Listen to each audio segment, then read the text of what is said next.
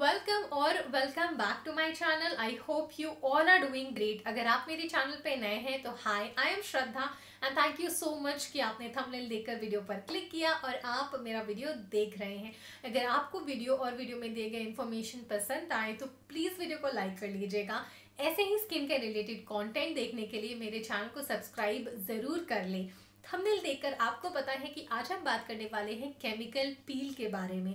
आप श्योर कि हमारे मन में काफ़ी सारे क्वेश्चंस हैं कि ये आखिर में केमिकल पील है क्या और क्या हम कोई केमिकल को अपने फेस पे लगा सकते हैं? क्या हम इसे घर पे यूज़ कर सकते हैं? कौन कौन से स्किन कंसर्न्स ये सॉल्व करता है? कौन कौन से स्किन टाइप्स के लोग इसे लगा सकते हैं? ये सारे क्वेश्चन के आंसर के साथ आप सबके लिए ये वीडियो बना रही हूँ।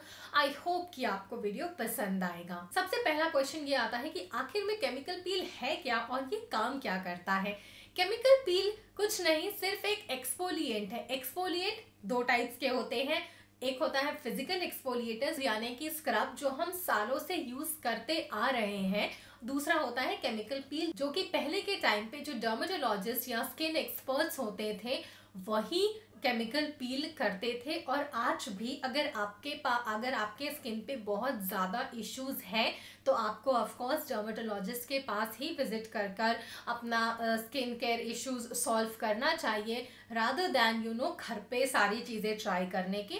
बट अगर हमारी स्किन नॉर्मल है, हमें कोई उतना ज़्यादा इशू नहीं है तो हम केमिकल पील घर पे भी यूज़ कर सकते हैं। क्योंकि अब काफ़ी सारे ब्रांड्स जो हैं, वो केमिकल पील्स बना रहे हैं, जिसे हम बहुत ही सेफली घर पर यूज़ कर सकते हैं। केमिकल पील एक्सफोलिएंट्स होते हैं और एक्सफोलिएशन हमारे स्किन केयर में बहुत ही ज़्यादा इम्पोर्टेंट रोल प्ले करता है। अगर हम रेगुलरली एक्सफोलिएट नहीं करते हैं तो हमारे स्किन पर डेड सेल्स बिल्डअप हो जाते हैं, जिसकी वजह से क्लॉक पोर्स होते हैं और इवेंचुअली उससे एक्ने स्किन एलर्जीज ये सारे इश्यूज़ हमारे स्किन पर बिल्डअप होते हैं। एक्सफोलिएशन का एक और बेनिफिट ये होता है कि जो भी हम स्किन केयर प्रोडक्ट्स अपने स्किन पर यूज़ करते हैं, वो ज़्यादा अच्छी तरीके से हमारे स्किन पे पेनिट्रेट होता है और जो उसके रिजल्ट्स हैं वो ज़्यादा इफेक्टिवली और जल्दी शो करते हैं। ट्रेडिशनली हम फ़िज़िकल एक्सफोलियंस यानी कि स्क्रब्स ही यूज़ करते आए हैं, जिसकी बहुत सारे ड्रॉबैक्स हैं। स्क्रब्स का जो ग्रेनी टेक्सचर होता है, उसको बनाने के लिए हमेशा नक्शल्स का यूज़ किया जाता है, जो कि कंपनी कितना भी क्लेम कर ले कि वो जेंटल है बट एक्चुअल में वो हमारे स्किन के लिए बहुत ही ज़्यादा हार्श होती है, जो कि हमारे स्किन पर माइक्रोटियर्स प्रोड्यूस करती है, हमारी स्किन पे इरिटेशन रेडनेस ये सारे इश्यूज़ होने लगते हैं।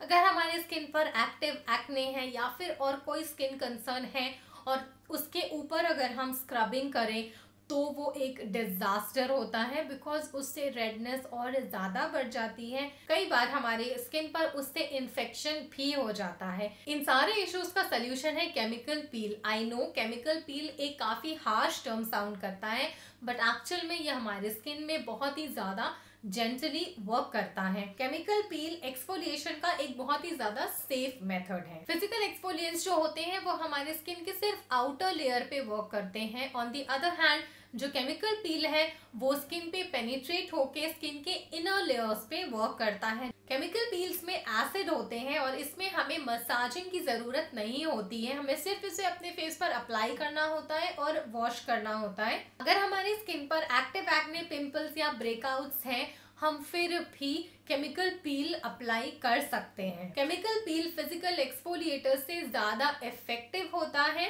ये हमारी स्किन को हाइड्रेट करता है पिगमेंटेशन को डिक्रीज करता है। सेंसिटिव और मेच्योर स्किन के लिए केमिकल पील एक बहुत ही अच्छा ऑप्शन है। इससे फाइन लाइंस एक्ने और ब्रेकआउट्स के इश्यूज़ भी सॉल्व होते हैं। केमिकल एक्सफोलियंस में A H A B H A और पी एच ए का यूज़ किया जाता है। A H A alpha hydroxy acid होते हैं, जिसमें ग्लाइकोलिक और लैक्टिक एसिड होते हैं। B H A beta hydroxy acid होते हैं, जो सेलिसिलिक एसिड यूज़ किया जाता है, और P H A is polyhydroxy acid जब हम केमिकल पील यूज़ करना स्टार्ट करें तो मेक श्योर sure कि जो उसके कॉन्सेंट्रेशन लेवल है, वो हम बहुत ज़्यादा हाई चूज़ ना करें। हम हमेशा लो कॉन्सेंट्रेशन लेवल से स्टार्ट करें। और उसके बाद जब हमारी स्किन उस कॉन्सेंट्रेशन को अडाप्ट कर ले, उससे हमें कोई इश्यूज़ ना क्रिएट हो, उसके बाद ही हम जो हाई कॉन्सेंट्रेशन लेवल्स के केमिकल पील्स हैं, उस पर स्विच हो।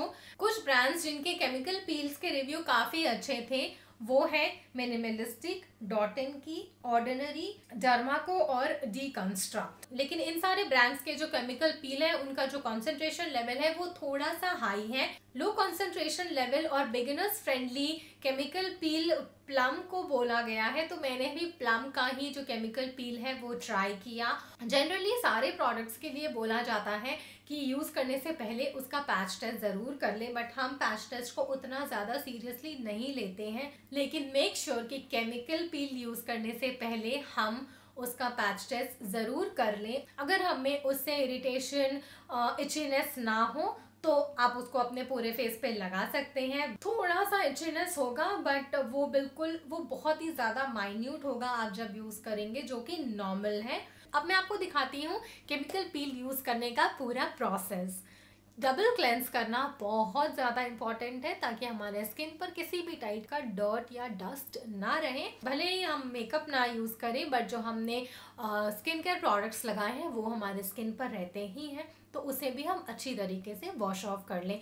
सबसे पहले मैंने यूज़ किया है क्लेंजिंग बाम क्लेंजिंग बाम से अपना फेस अच्छे तरीके से क्लेंस करने के बाद में कोई भी आप जेंटल क्लेंजर यूज़ करें। उसके बाद अपने फेस को पूरी तरीके से ड्राई कर लें। कभी भी अपने फेस को रब ना करें ड्राई करने के टाइम पे। फेस अच्छी तरीके से ड्राई हो जाने के बाद हमें यूज़ करना है अपना पील दो या तीन पंप सफिशेंट होंगे पूरे फेस को कवर करने के लिए।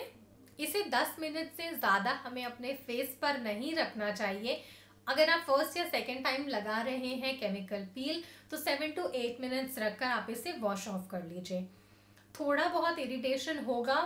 थैंकफुली मुझे बिल्कुल भी नहीं हुआ था इरिटेशन उसके बाद हमें इसे नॉर्मल टेम्परेचर के वाटर से वॉश कर लेना है। प्लम के ग्रीन टी केमिकल पील में ए एच ए है ten percent P H A is five percent and P H A is zero point five percent इसमें जो P H A H A और B H A है, उसे natural ingredient से extract किया गया है। केमिकल पील यूज़ करने के बाद हमें हमारे फेस पे कोई भी एक्टिव इंग्रेडिएंट नहीं यूज़ करना है, जैसे कि कोई भी वाइटामिन ए ई या सी सिरम या फिर नाइसिनमाइड सैलिसिलिक एसिड ये सारी चीज़ें हमें यूज़ नहीं करनी है।